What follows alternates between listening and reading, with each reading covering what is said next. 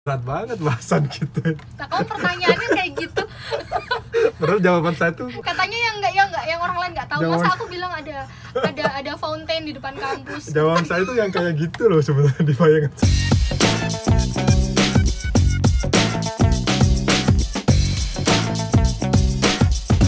jadi yang pertama itu di sini ada business incubation center. Mhm. jadi aku kan pernah pernah bikin startup sebelumnya. ya. Dan itu dibantu banget sama business incubation centernya pasti jadi awal mulanya biasanya nanti diajarin gimana cara bisnis bikin bisnis model Hmm. gitu-gitu.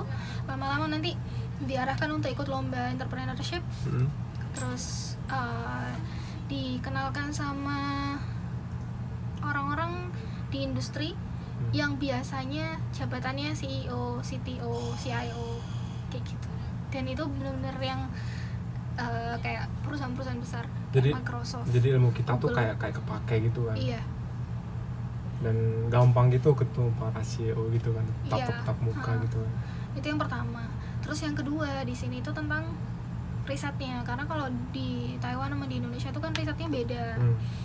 Eh, pendekatan pendekatan mahasiswa untuk riset itu kiblatnya ke Amerika walaupun kitanya sendiri karena karena kiblat Betul. itu akhirnya kita menjadi susah lulus. Hmm, tapi Karena di sisi lain tinggi. eh, tapi di sisi lain kita jadi belajar gitu loh. Betul. Kita jadi belajar lebih dibandingkan yang lain. Betul betul. Jadi standarnya memang sangat tinggi eh, tapi kita bisa belajar banyak dari Mm-mm. situ gitu ya. Iya. Terus yang ketiga itu tuh adanya eh kerjasama antara kampus sama industri yang benar-benar dijalankan. Jadi contoh gampangnya gini, eh, suamiku Hmm. dia dulu S2 di sini, Hmm. dia lulus dia langsung dapat kerja di industri di sini. Hmm. Itu ada beberapa beberapa jalur. Kalau suamiku dapat jalur internal dari KDI, Hmm.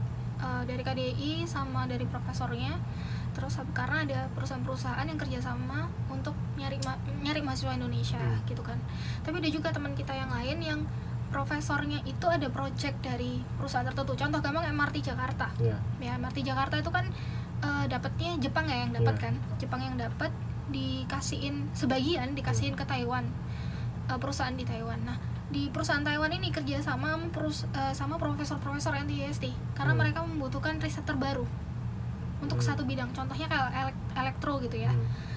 ada beberapa teman kita lima kalau nggak salah itu yang mereka keterima di perusahaan Taiwan yang ngurusin elektro el, elektrik elektrik em, elektrik currentnya MRT Jakarta. Wow. Jadi setengah setengah dari mereka ada di Taiwan setengahnya ada di Indonesia. Dan itu nggak cuma dari electrical engineering tapi juga dari kayak mechanical engineering terus ada dari eh, material science. Dan mereka berangkatnya dari sini? Berangkatnya dari sini. Jadi eh, mereka ada akses lebih untuk menuju itu. Apalagi gajinya lumayan pakai USD loh. Ya dan mereka di- dan mereka kerjanya bisa bahasa Indonesia kan? Kan kerjanya di, ya dan di- biasanya biasanya mereka kan ada ada kemampuan Mandarin sedikit walaupun itu cuma konversasional Iya, iya, iya. tapi kan itu jadi itu plus. penting. Benar benar benar.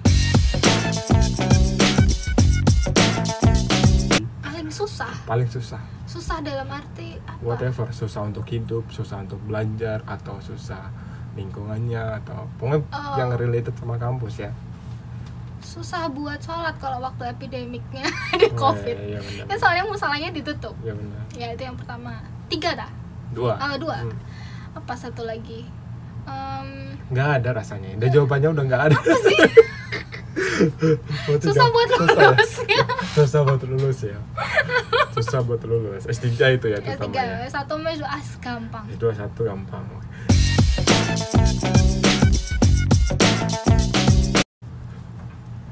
apa ya? Aku kalau malu kan aku hilangkan dari memori.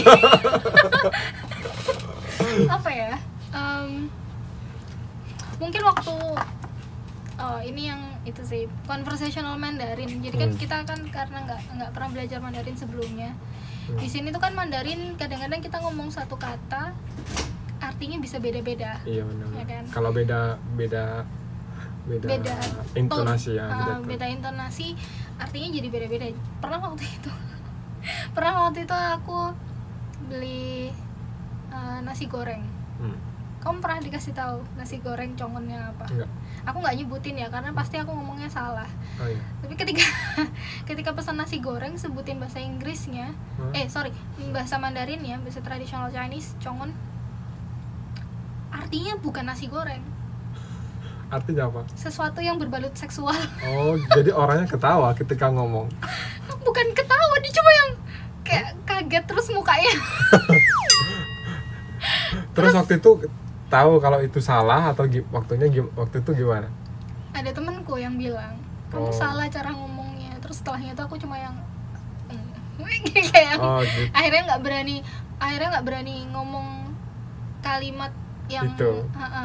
jadi aku Oh. kalau kalau pesan nasi goreng fried rice gitu aja ya pakai bahasa Inggris aku yang Inggris lebih aman lah ya lebih aman itu taunya tuh ada temennya ada teman saat itu atau besoknya diklarifikasi ke temennya diverifikasi Saat itu. saat itu. jadi ada teman Taiwan waktu Iya, padahal sebelumnya tuh aku sudah dikasih tahu sama guru kelas Mandarin Hmm.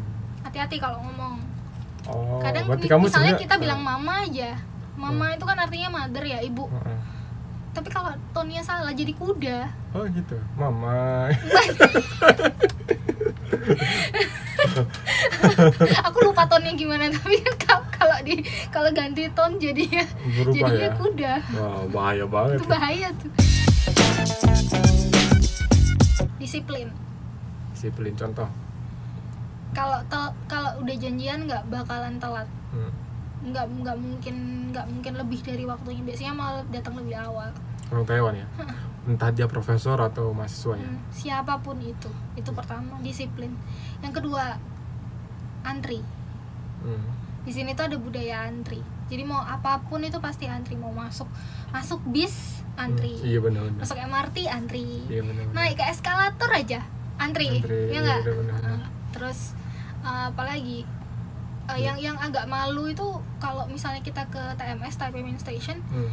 ada 7-Eleven kan atau Family Mart Hmm. karena saking banyaknya orang Indonesia yang nggak bisa antri Hmm. itu ditulisannya di 7-Eleven harap antri Serius? pernah lihat nggak pernah ya aku aku pernah lihat kalau aku lihat kayak gitu aku langsung yang pura-pura bukan orang Indonesia iya benar benar benar benar. malu banget loh iya benar malu benar, banget benar. serius kalau yang kayak gitu antri oh ya? itu masuk ke yang memalukan itu kayaknya iya benar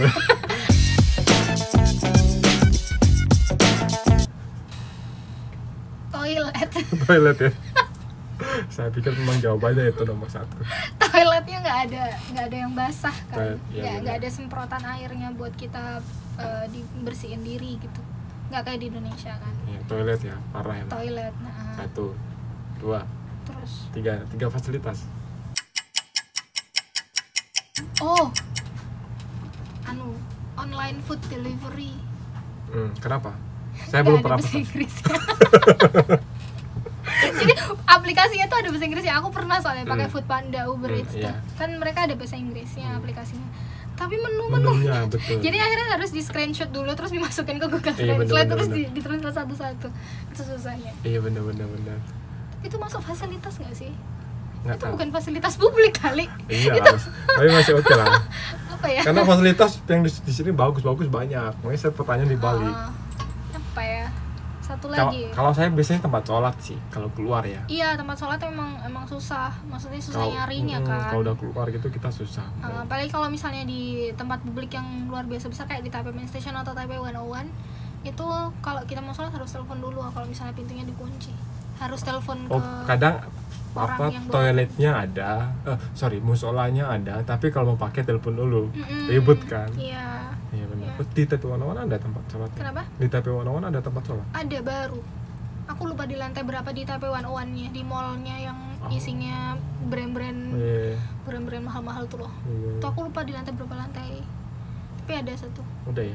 Baru. Taipei Wanawan ada tahu saya tuh tapi nangkang nangkang exhibition tuh ada, ada. Di lantai 4 itu. Uh-uh. terus di museum Michelin itu. National Museum. Sun Yat-sen. Eh, Oh. Eh, National Palace oh iya uh-uh. itu bagus banget musolanya. Ya soalnya kan memang turis yang muslim juga banyak kan. Iya benar-benar jadi mereka naruh musola yang bisa didatengin juga di tempat-tempat Udah yang pernah masuk sana? yang di mana? National Palace belum. Kalau orang kalau student itu gratis nunjukin. Student ID eh, ID kalau nggak punya bayar 300 cuy. Hmm? Jadi cuma buat bayar. doang. Bayar 300 tuh masuk ke oh museumnya. masuk, masuk ke museumnya gratis sebetulnya ke student? Eh itu kalau ini nggak. baca berita kalau harga masuk ke be- beberapa museum di Taipei dikat 50% kalau nggak salah buat naikin minat orang domestik domestik turis